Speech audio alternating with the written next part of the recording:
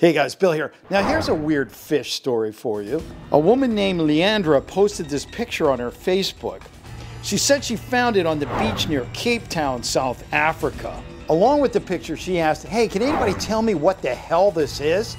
We found it on the beach. It's the real thing. The weird looking creature is fish-like, but with huge teeth, and its head appears far too big for its small body. So far, there's been a lot of wild speculation that this is perhaps some kind of mutated species, specifically a cross between a pufferfish and a mussel. One academic from the field of biology suggested what we may be looking at is what is known as a rock sucker, a type of clingfish that had dried out on the sand and became disfigured.